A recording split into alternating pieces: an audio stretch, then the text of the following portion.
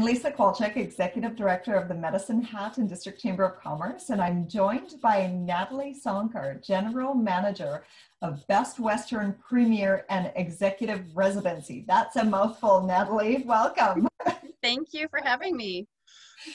So we had the pleasure of seeing this beautiful property behind me for your grand opening. Can you tell us a little bit about this brand, the premier brand, and the value this brand brings to our region in particular? Absolutely. So Best Western, as most people know, is a global network of hotels in nearly 100 countries and territories around the world. We have uh, 18 unique different brands underneath the umbrella of Best Western. And Best Western's been around for over 70 years, so they, they've definitely got their foot in the door for this industry.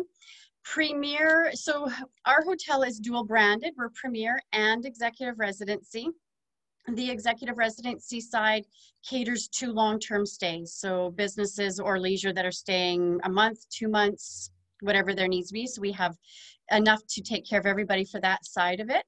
And the premier uh, that's just best western's luxury brand. So we're one of the higher end of all their brands under the umbrella which is great. Um, the premier brand was rated number one for upscale hotels in 2019 with jd power which we're still very proud of. So we're hoping to snag that again for a second year so yeah that's uh, hoping to bring that sort of different level of luxury to medicine hat so what were some of the reasons to make that investment here in Medicine Hat and with this particular brand? Uh, well, the ownership, they're locals. So it's locally owned and operated. Um, they like the brand Best Western because it's not a franchise like all the other hotel chains, it's a membership. So that really appealed to them and just being able to give back to their community which they feel has been very helpful and supportive of them in their other businesses and they wanted to be able to be within that community and give back.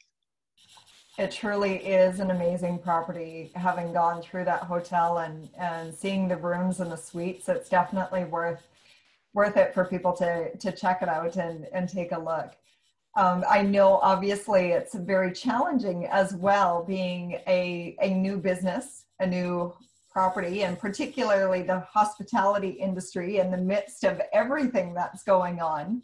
Yeah. So, in all of that, what have been some of the supports or resources um, that have assisted you during this time or that you have seen have been beneficial to, to some of the other businesses during the pandemic?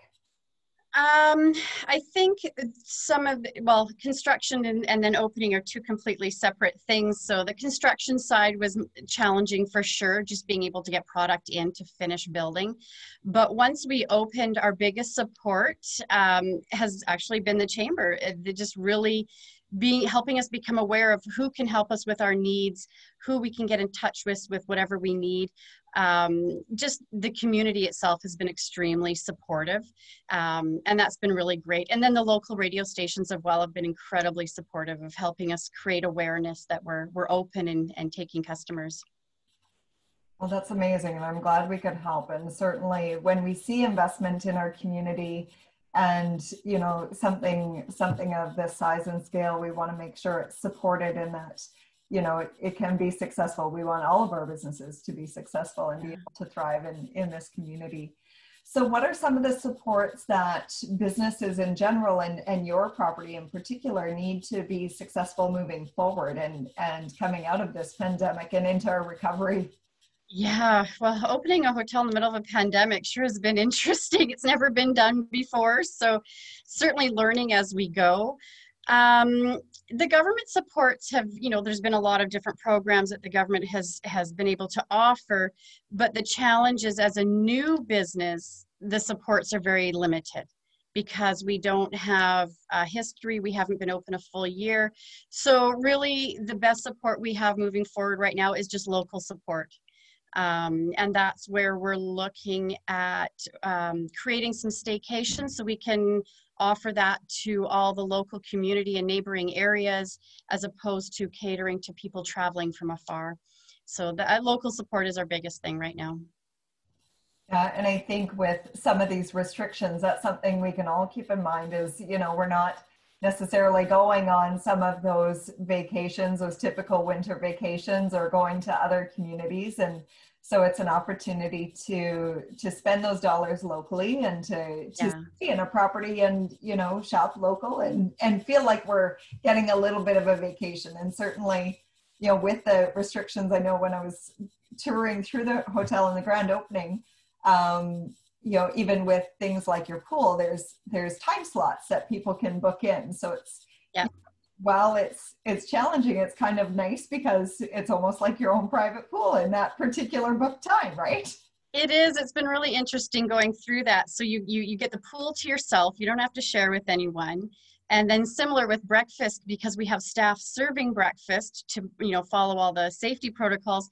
People are really like having someone serve them breakfast instead of helping themselves. So it's been going over quite well. when you you really do have a phenomenal breakfast option too so what are some of those exciting things that you have in store and things that we can look forward to Um, well, as I mentioned, those staycations, we're really working hard on getting several different varieties going. So it's not just one type. So we're really excited about that. One of the other things in anticipation of COVID rules lightening up, we are looking at partnering with the Medicine Hat Stampede. So we're in the middle of uh, negotiating some terms there, which is really exciting for us. And then, of, of course, we have our Denny's opening in, in the beginning of next year. So I know a lot of people are pretty excited about that. Yes, there's definitely a lot of buzz. so I think that'll be a hot spot for for when uh, they're able to open open the. Oh, yeah. So Natalie, what is one piece of advice or negative information that you would offer up to other businesses at this time? Um, really just utilize your local businesses and resources. That is your your biggest thing. Um, because of COVID, you know, a lot of your social media advertising or Google advertising, a lot of that's put on hold. So just, you know, utilizing local, shop local, um, appeal to your local customers. That's that's your biggest thing. Keep it close to home. Absolutely. Now you have the benefit of having lived in other communities and coming to Medicine Hat. So what, Yeah. what's one thing that you love about this community or that you've experienced since moving here? Uh, everyone is so welcoming and so friendly. It's it's really been great. Even though it's the size of a city, it still has the small town feel, which I really like. It's been awesome. And and just kind of selfishly from a chamber perspective, I'll add this one in just for fun. What's that one thing you love about our chamber and what your experience has been so far? Um, just the huge amount of support. Any question we have, even if it's not something you're you're able to help, you guys are always trying to find an answer for us. Um, just really helpful. There's been so many opportunities for us to uh, create awareness and work with you guys. It's been fantastic, and it really helps us feel like a part of the community, even though we're brand new. Yeah, are awesome. Awesome. Well, I'm glad you feel that way. That's something certainly we always try to emphasize is, you know, connect with us. If we don't have the answer, we'll try to find somebody who does for you and, and make sure that you're connected into the community. Yeah. Natalie, it's been such a pleasure getting to know you a little bit more and, and being able to connect with you at your grand opening. Any any final words or any um, you know again, where can people find out more about the property or if they want to to book with the hotel? What's the best way to connect? Um, well, we have their, our main Best Western website at uh, bestwestern.com. Uh, we still, even though with protocols, we are still offering tours. If somebody wants to come in, we'd be happy to show them around. And or you can just call us directly, and and we're here to help. We're 24 seven. Amazing. Thank you so much, Natalie. It's been such a pleasure. Thank you so much for having me.